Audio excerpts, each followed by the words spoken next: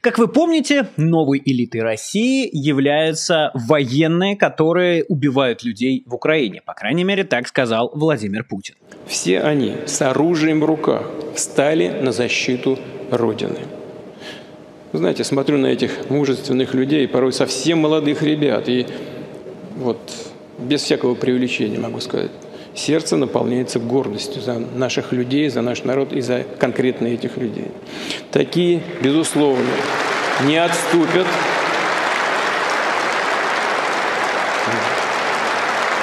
Не отступят, не подведут и не предадут. Вот они и должны выходить на ведущие позиции и в системе образования воспитания молодежи, и в общественных объединениях, в госкомпаниях, бизнесе, в государственном и муниципальном управлении, возглавлять регионы, предприятия в конечном итоге, самые крупные отечественные проекты. Подлинная, настоящая элита – это все, кто служит России, труженики и воины, надежные, проверенные, делом доказавшие свою преданность России, достойные люди.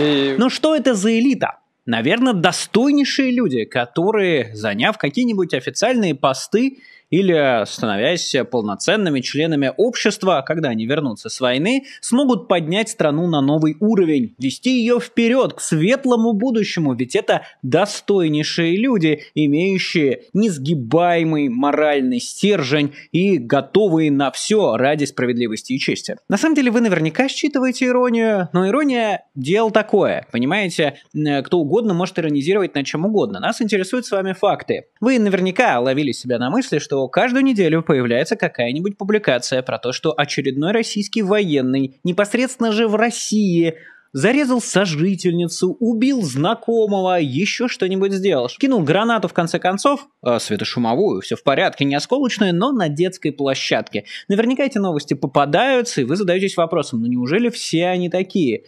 Не все.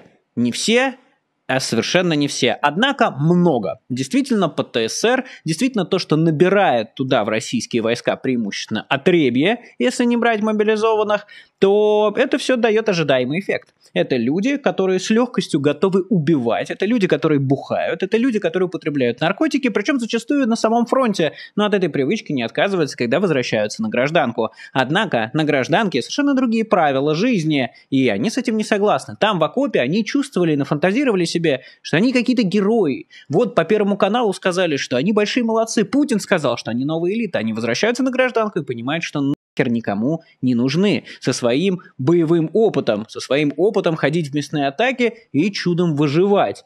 Но не нужны они просто здесь. Жена уже ушла к другому, э, собственно, дети забыли, как ты выглядишь, если были, ну, а все твои друзья продолжали развиваться и строить карьеры, пока ты, собственно, э, убивал людей в другой стране. Ну, а то и вообще уехали из страны подальше, потому что не хотят э, себя ассоциировать с фашистским государством. И в таких ситуациях эти герои войны спиваются, начинают буянить, начинают насиловать, грабить, убивать, и это уже становится полноценной частью российской действительности. И надо понимать, что то, что происходит сейчас, это лишь анонс, это демоверсия, это ничтожно малая часть того, что ждет в будущем. Потому что, ну, с фронта, как вы могли заметить, особо-то никто и не возвращается. Мобилизация в России бесконечная, по крайней мере, никакой крайний срок мобилизации Владимир Путин не обозначил, а контракты на период мобилизации, которые все еще формально продолжаются, тоже бессрочные. Максимум, как военный может попасть домой, это какой-нибудь отпуск или самовольно покинув часть. Нет, была какая-то когорта людей, да, вот, например, зэки вагнеровские, которые до определенного момента могли действительно 6 месяцев отвоевать и вернуться домой. Но их количество не то чтобы прям большое, потому что там выживало вот, ну, с ноготочек. Я помню, из первого набора их выжило сколько? По-моему, 116 человек или 130 человек. Что это такое? А на кадрах, которые реально показывал Пригожин, было и того меньше. Но даже в этом ничтожно малом количестве Преступления российских военных внутри самой России уже стали притчей во языцах. Это уже довольно ощутимое количество всевозможных преступлений. Причем более наглых, что ли, когда какой-нибудь, э, значит, ветеран СВО стреляет из пистолета в центре Питера, или когда убивает э, титулованную учительницу России по синьке, не по синьке, почувствовать себя богом, но тем не менее это уже регулярная часть нашей действительности. Это все при том, что российским медиа, ну как медиа, провластным изданиям, остающимся в России, четко спустили сверху, что как можно меньше освещать такие истории, ведь они как-то могут не порадовать народ. Тем не менее, эти истории все равно просачиваются, причем в большом количестве. Новая газета «Европа», собственно, ознакомилась с большим количеством приговоров и отметила невероятный, лавинообразный, я бы сказал, рост количества преступлений, совершенных, собственно, российскими военными на территории самой России. Даже не на территории, там, я не знаю, э, каких-нибудь э, оккупированных, а на территории самой России. На оккупированных территориях территориях там вообще российские солдаты творят форменный беспредел и садизм, не говоря уже про непосредственно линию боевого соприкосновения. Но об этом мы и так с вами много говорим, и поговорим обязательно еще. Сегодня же я хочу проанонсировать жителям России, какой их жизнь будет в любом случае. Независимо от того, что будет происходить дальше, сотни тысяч людей с ПТСР вернутся обратно в города и на свои улицы, увидя, что жизнь там ушла вперед, пока они в грязи ворочались в окопах, выполняя волю коррупционера и просто закомплексованного диктатора. Пока они были в окопе, все остальные люди жили свою жизнь дальше, и она ушла вперед. И эти люди, которые прошли через окопы, они интегрироваться нормально в общество не смогут. Более того, во многих странах, даже когда люди принимали участие в боевых действиях, не являясь частью фашистской оккупационной армии, они все равно с трудом потом могли интегрироваться обратно в общество, когда они по-настоящему были героями войны. А уж когда мы говорим об армии отребья, плюс мобилизованных, которые ничего хорошего не делали, которые на территории чужой страны убивали людей, вот у этих людей такие проблемы с башкой уже сейчас, и дальше это будет только хуже. Поэтому независимо от итога этой войны, победит Россия, проиграет Россия для россиян – в контексте гигантского количества людей из ПТСР, которые вернутся с фронта, и будут бухать, стрелять, убивать и взрывать, ничего не меняется. Могут быть совершенно разные, конечно, развития ситуации в зависимости от того, что там, если, ну, допустим, Россия проиграет, и действительно пойдет путинский режим, и действительно придут там нормальные люди к власти, которые будут желать процветания стране, которые, значит, больше не будут воровать, а которые бюджетные деньги пустят там, я не знаю, на психологическую реабилитацию э, для военных, тех, по крайней мере, кто не был замазан в военных преступлениях, остальных посадят, тогда шанс там того, что это будет прям, не знаю, массовая история, э, э, от которой невозможно будет спрятаться, он будет чуть пониже.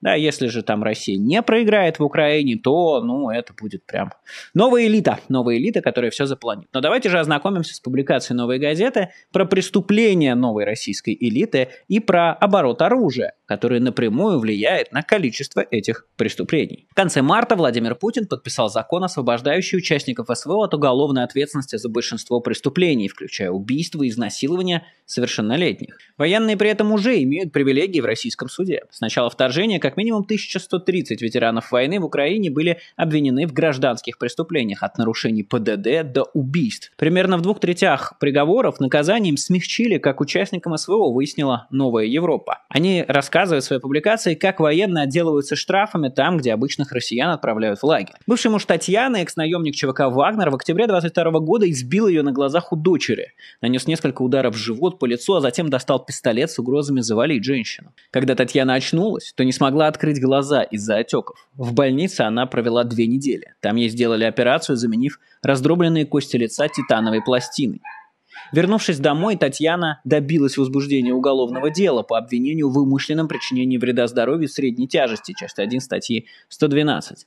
В суд бывший муж принес медали за взятие Бахмута и бахмутская мясорубка – Дело прекратили, назначив бывшему военному судебный штраф в 5000 рублей. Это следует из текста постановления, с которым ознакомились журналисты 74.ru. К обычным гражданам подобную снисходительность российские судьи проявляют крайне редко. В 2022 году, по данным судебного департамента при Верховном суде, Только полтора процента обвиняемых смогли добиться штрафа с прекращением дела по статье 112 УК. Наличие смягчающих обстоятельств в деле подозреваемого может быть беременность, например, оказание медпомощи потерпевшему или явка с повинной а может повлиять на строгость приговора, а иногда это повод назначить наказание даже ниже, чем предусмотрено Уголовным кодексом. В ноябре 22 года важные истории обнаружили более 80 приговоров военным, только в четверти из них обвиняемые получили такой же вид наказания, как и большинство осужденных. Участие в войне напрямую в списке смягчающих обстоятельств не указано, но за два года войны смягчать приговоры участникам СВО уже стало привычной практикой российских судов. К примеру, штрафы за вождение в пьяном виде получают более 80% подсудимых военных, 13 раз чаще, чем по всей стране. Большинство россиян по этой статье приговаривают к обязательным работам. За оборот наркотиков в значительном размере штрафуют 70% ветеранов. Это в два раза больше, чем гражданских россиян. Это неписанное правило распространяется почти на все популярные среди военных преступления, от мелкого взяточничества до оборота боеприпасов. Единственное преступление, за которое военных судят строже, чем гражданских, это оборот взрывчатых веществ. За это ветеранам назначают реальные сроки в 4 раза чаще, чем гражданским. Возможно, такая строгость связана с тяжестью нарушений. Военные имеют доступ к легальному оружию, тогда как гражданских могут осудить за пачку дымного пороха в сарае. В общем, участники войны получают менее строгие наказания. Доля приговоров по видам наказаний для ветеранов войны и всех подсудимых выглядит следующим образом, и сейчас перед вами. Стремление смягчить приговоры военным доходит до крайних форм. Так, если причиной конфликтов становится отношение жертв к войне, судьи возлагают вину на саму жертву, называя потерпевших инициаторами преступлений. Так произошло с пенсионером из приморского города Дальнереченск. Выпивая с бывшим военным, он высказался про операцию в Украине, чем сильно разозлил ветерана войны. Тот повалил пенсионера на пол и стал бить его сначала табуретками, а потом кухонным ножом и битой. На утро он спрятал тело во дворе своего дома где его заметила соседка. Судья зачел награды ветерана как смягчающее обстоятельство, а также отметил противоправность действий потерпевшего. Убитый пенсионер был признан судом инициатором возникшей ссоры, который своими высказываниями про военную операцию а, в Украине сильно задел чувства подсудимого. И хотя признание военных наград смягчающим обстоятельством не обязывает судей выносить менее строгие приговоры, по словам анонимного эксперта в области правоприменения, это очень важный формальный сигнал – который отражает идеологию и риторику государства. Как минимум 158 бывших и действующих участников войны осуждены уже не первый раз, а среди тех, кто совершил насильственные преступления против жизни и здоровья, судимость имеет каждый шестой военный. Любой рецидивист, согласно Российскому уголовному кодексу, не может получить наказание менее 1 третьей части максимального срока наиболее строгого вида наказания, предусмотренного за совершенное преступление, но только если в деле не окажется смягчающих обстоятельств. Выходит, что участников войны это правило не касается. Так, в августе 2023 года Евгений Зимин, призванный на фронт э, в первые дни мобилизации, взял отпуск и уехал в Мариэл. Там военного задержали с 0,4 граммами мефедрона. Спустя два месяца, во время прикомандирования к другой войсковой части, Евгений снова попался полиции, теперь уже в Казани и с 0,8 граммами альфа-ПВП. За оба преступления Зимин, который на войне успел заработать несколько медалей, получил небольшие штрафы – 25 и 26 тысяч рублей. Это минимальный размер наказания по части 1 статьи 228, которая предусматривает до трех лет лишения свободы. 25 февраля в якутском поселке 35-летний ветеран СВО зарубил топором победительницу конкурса «Лучший учитель России». Спустя месяц другой военный изнасиловал девятилетнюю школьницу из Кургана. Такие истории медиа публикуют постоянно. В августе за убийство шестерых жителей Карельского села был задержан 37-летний вагнеровец, а в октябре дело завели на еще одного наемника, он убил свою четырехлетнюю падчерицу. К декабрю 23 года, как подсчитала Сирена, жертвами бывших военных стал 51 человек. С каждым месяцем боевых действий таких преступлений становится все больше. По данным э, Новой газеты Европы, за 23 год число приговоров ветеранам войны выросло в 7 раз а число насильственных преступлений против жизни и здоровья в 13. В частности, выросло число насильственных преступлений сексуального характера. В первые 6 месяцев 2023 года, по данным Суддепа, военные суды вынесли рекордное число таких приговоров. Только по минимальной оценке с начала вторжения 192 бывших и действующих участника СВО обвинялись в насильственных преступлениях. Правда, естественно, на общероссийскую криминальную картину насильственные преступления военных пока не сильно влияют. Например, убийства, совершенные участниками СВО, составляют менее процента от всех убийств по стране. Кроме того, участников войны также судят за вождение в нетрезвом виде, оборот наркотиков и мошенничество при получении выплат. Вместе с военными из Украины едет их оружие – 2023 году в российские суды поступило рекордное за 10 лет число дел за оборот огнестрела, взрывчатки и боеприпасов. Это довольно важная история, потому что оборот оружия и свободный к нему доступ позволяет абсолютно любые преступления делать намного эффективнее.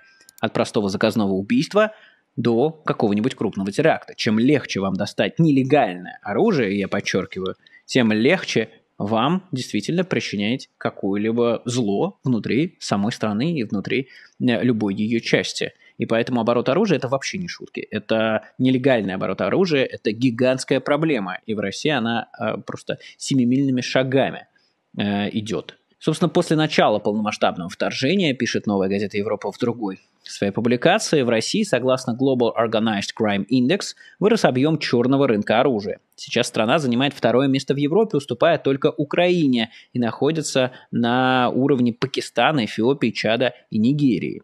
Ну, почему Украине, я думаю, понятно. Я думаю, все вы помните, как в начале вторжения, в том числе в Украине раздавали стрелковое оружие просто всем потому что была э, не иллюзорная вероятность, что российские войска просто зайдут в Киев и начнут пытаться его уничтожать. А, поэтому действительно оборот, незаконный оборот оружия в Украине весьма большой, но Украина сейчас защищается э, изо всех сил, и поэтому понятно, почему он там такой, тем более, что, э, собственно, война, по сути, пришла в Украину, ее принес Путин еще в 2014 году. Тем не менее, Россия уже совсем-совсем рядом и на уровне как раз африканских стран. Никакая война в Россию не приходила. Это Россия пыталась привнести войну в другие регионы. Основная причина как отмечают эксперты, это, конечно, боевые действия. В 2023 году в военные суды поступило 179 дел за оборот огнестрельного оружия, боеприпасов и взрывчатки. Это в два раза больше, чем в последний довоенный год. При этом число дел в гражданских судах по аналогичной статье не изменилось. Вот как военные пытаются вывести оружие с фронта. За месяц до мобилизации Александр Андрейчук сам пришел в военкомат и уехал в Украину. Прослужив несколько месяцев, он решил украсть из базового лагеря оружие в надежде продать его своему знакомому в Россию. Ночью ему удалось тащить со склада автомат Калашникова, два артиллерийских снаряда и штык-нож. После неудачной попытки сбыть украденное за 50, а потом уже и за 10 тысяч рублей, Андрейчук спрятал оружие в поле, где его засекли полицейские. В июле 22 года военный Роман Целуйко обманул своего сослуживца, чтобы проникнуть в комнату для хранения оружия, Оттуда он взял автомат Калашникова со 120 патронами и пронес украденное через КПП в Крыму. В Севастополе его ждал знакомый, который вызвался найти покупателей. Но сбыть автомат не получилось. На месте военнослужащего поджидали сотрудники ФСБ. Прапорщик Владимир Карпов в июле 22 года производил осмотр поврежденного «Тигра». Этот автомобиль прибыл из зоны боевых действий. В нем прапорщик нашел 37 патронов и решил их продать. Приехав в отпуск, Владимир договорился с покупателем, который оказался сотрудником правоохранительных органов. С фронта оружие попадает на российские ресурсы, телеграм-каналы и сайты. Их блокировкой Роскомнадзор занимается с 2016 года. Тогда впервые были заблокированы площадки для продажи пистолетов, в том числе популярный оружейный магазин «Черный рынок». Но это не помешало ресурсу продолжить работу. Как и другие магазины, например, лавка Бена, сайт просто меняет домен после каждой блокировки.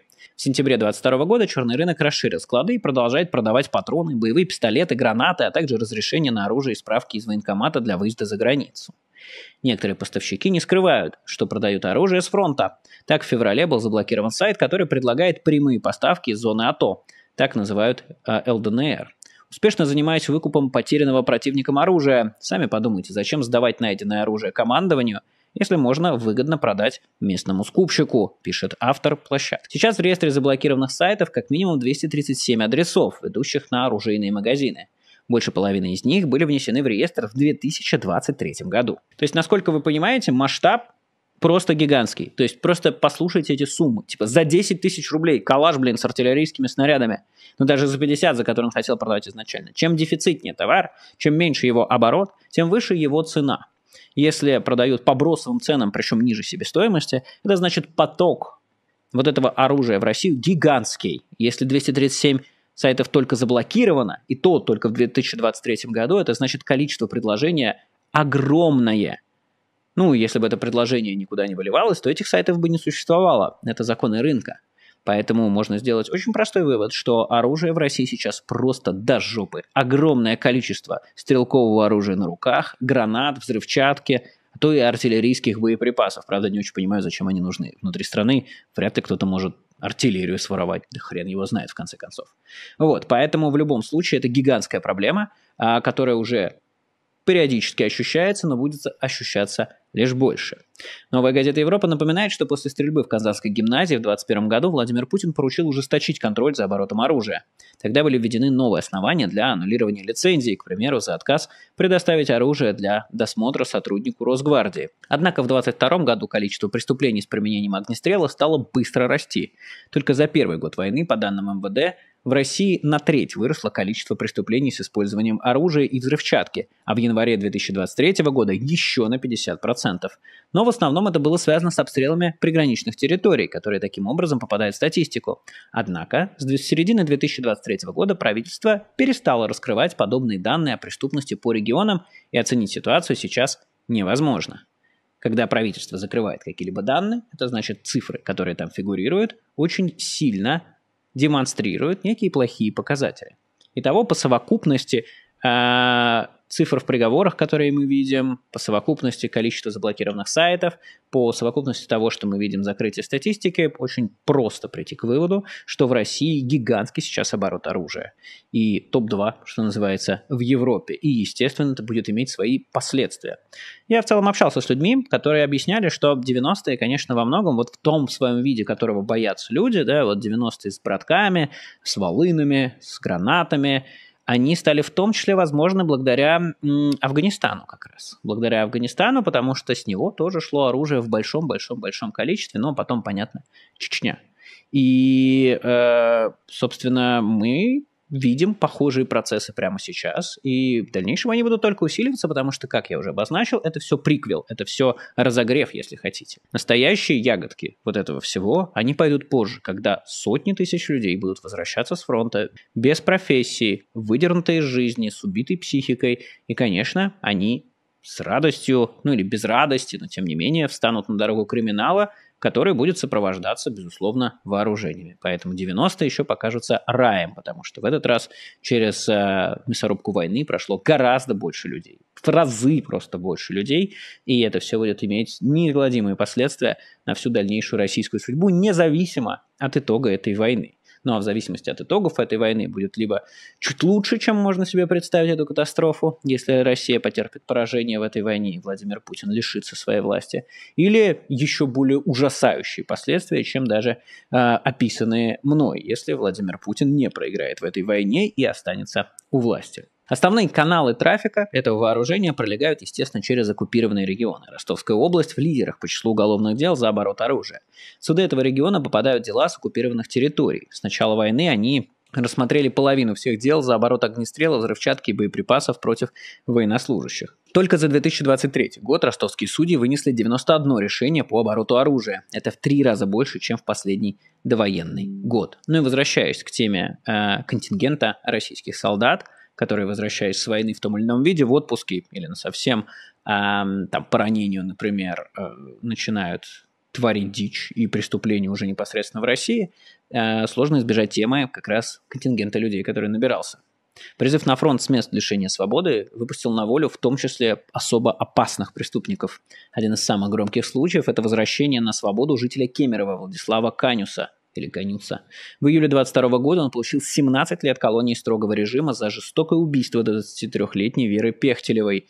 Полицейские, которые не приехали на вызов девушки, отделались условными сроками за халатность, а убийца стал героем СВО и был помилован. Среди помилованных Путиным военных, как выяснило агентство, минимум 17 человек были осуждены за жестокие убийства. По словам пресс-секретаря президента Дмитрия Пескова, они оказались на свободе, искупив вину кровью. Сейчас депутаты и вовсе решили обеспечить участникам СВО иммунитет от уголовного преследования. 6 марта такой законопроект был внесен в Госдуму, и в этом же месяце его подписал Путин. Если военный совершит преступление во время службы или приехав в отпуск, его просто освободят от наказания. Юридически это будет происходить в момент увольнения либо получения госнаграды. Такое же правило действует для подозреваемых в преступлениях. Подписав контракт с Минобороны, они могут избежать наказания. Это касается и дел об убийствах и нанесения тяжких телесных и изнасилований. Исключение составляет преступления против половой неприкосновенности несовершеннолетних, участие в теракте, контрабанда, наемничество, еще около 30 статей. Авторы закона считают, что механизм освобождения военных от уголовного наказания увеличит привлекательность службы в армии. Правда, добавляю я уже от себя, они не уточняют, для кого это увеличит привлекательность. И ответ очень простой. Когда я говорю, что в российской армии помимо мобилизованных в основном отребья, это не снобизм, это констатация факта. Потому что, ну, я против того, чтобы делить людей по детерминированному признаку. Раса, пол, э, возраст, и национальность и многие другие. Однако по недетерминированным я считаю, что вполне возможно. И действительно люди, которых набирают в российскую армию сейчас в качестве контрактников, это, как сами признаются в письмах, которые рассылаются по регионам, это алкоголики, наркоманы, э, это должники, очень сильно проигравшиеся, в общем, как их называют, социально неблагополучные люди. Считаю ли я, что эти люди недостойны жить в обществе? Нет. Я считаю, что таким людям нужно помогать. Алкоголикам помогать слезть с алкогольной зависимости, наркоманам с наркотической, а, соответственно, должникам, ну, в зависимости от того, что у них там за проблема. Да, это может быть лудомания, э, это может быть недостаточная там образованность и так далее. То есть я не считаю, и говоря про то, что это там условное отребье, э, я говорю не про тех людей на стадии того, когда их когда они существуют вот в такой ситуации сложной жизни. Про отребье я говорю тех, кто при всем этом готов идти убивать за деньги. Вот это настоящее отребье. А более того, мы видим, что большое количество преступников с зон прямо отправилось и отправляется до сих пор, теперь из женских, а, на фронт. И здесь история в том, что, конечно, тот человек, который совершил какое-либо преступление, не становится автоматически исчадием ада. Вообще система э, наказания, она еще и исправительная, и она должна исправлять. Проблема в том, что российская система не особо исправляет, и в том, что те люди, которых отправляют на войну из тюрем, э, они не отсиживают свой положенный срок. Поэтому даже если бы мы предполагали, что они исправ- могут исправиться в тюрьме, этого не происходит. Как убийца Веры Пехтелева, он сел в 22-м. Ну, то есть на 17 лет. Он не успел отсидеть вообще нисколько. Он не почувствовал а, ответственности за совершенное действие, он не почувствовал последствий. И огромное количество людей, которые не почувствовали последствий, теперь служат в российской армии, а часть из них уже вернулась в города. И вот вернувшиеся в города как раз делают преступления. Опять же, пока преступления российских военных составляют лишь 1%, например, от убийств. Но это ничтожно малое количество вернувшихся военных. Дальше их будет возвращаться все больше и больше и больше. Нет, многих, конечно, убьют. Многие станут инвалидами, хотя инвалиды э, абсолютно такие же люди, как и мы с вами, также могут совершать преступления. И эти люди, которые будут возвращаться толпами, несмотря на количество погибших, они будут совершать все больше и больше преступлений. Потому что вот эта грань, которая отделяет нас от, например, возможности убийства, она заключается в том, что убийство табуировано. Убивать нельзя. Нам с детства это говорят. Только-только в рамках самозащиты.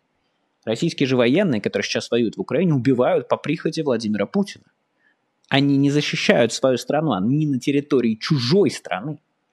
Они убивают на территории чужой страны граждан чужой страны. И связь с реальностью у них, конечно, теряется, не говоря уже о том, что сам факт убийства людей и нахождение в ситуации, когда вокруг тебя постоянно трупы, постоянно стресс и все такое, просто отлетает кукуха. Часть из этих людей, конечно, наложит на себя руки. Часть людей станет преступниками. Часть сможет, возможно, интегрироваться в общество, но это зависит от того, какие механизмы интеграции в обществе будет. Но, обращаюсь ко всем россиянам, чем дольше идет эта война, чем больше людей будет перемолото в этой мясорубке, в том числе психически, и психологически, тем с большими последствиями вы столкнетесь внутри своих городов. Если вам кажется, что все это где-то там, все это вас не касается и вообще вы вне политики, то это все к вам придет. К вам это придет в виде стихийных бедствий, на, которые, на ликвидацию которых у власти нет денег, и какой-нибудь губернатор предложит вам 20 тысяч рублей взамен вашего затопленного дома. Вам это придет в виде соседа ЧВКшника, который с пьяну будет кидать на детские площадки светошумовые гранаты. Вам это придет в виде бизнес-партнера, который в центре Петербурга, недовольный тем, что вы ему говорите, просто несколько раз стрельнет вам в голову. И все. Это придет вам в виде взрывающейся гранаты, это придет вам в виде пули из АК, это придет вам в виде пьяного военного, который будет вас душить. Это все будет частью вашей жизни. Не говоря уже про бандитские группировки, рэкет и все то, ну, про что вам могут рассказать родители, если вы примерно моего возраста. Только в гораздо большем объеме, потому что людей, которые через все это прошли, будет больше, кормовой базы меньше. Особенно в случае, если Россия не проиграет в этой войне и будет оставаться в международной изоляции и в отсутствии каких-то прямых, э, довольно простых доходов на энергоресурсах. Это все ждет впереди. Поэтому вот она, новая элита Путина. Убийцы, насильники, грабители. Это те, кого создает Россия прямо сейчас, кого она собирается возвышать, и те, кто уже сейчас пользуются снисхождением, в том числе в судах, им буквально говорят «творите, что хотите». Но парадокс в том, что они-то хозяевами жизни тоже не станут.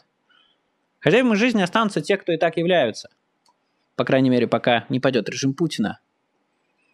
А те, которые мнят, что они пойдут на то, что вла- российская власть называет СВО, в итоге, в лучшем случае, если выживут – получат на всю жизнь отъехавшую кукуху, и никогда с ними никто не сблизится, никогда никто не будет воспринимать их как людей. Их будут воспринимать как угрозу, которой, по сути, они будут являться.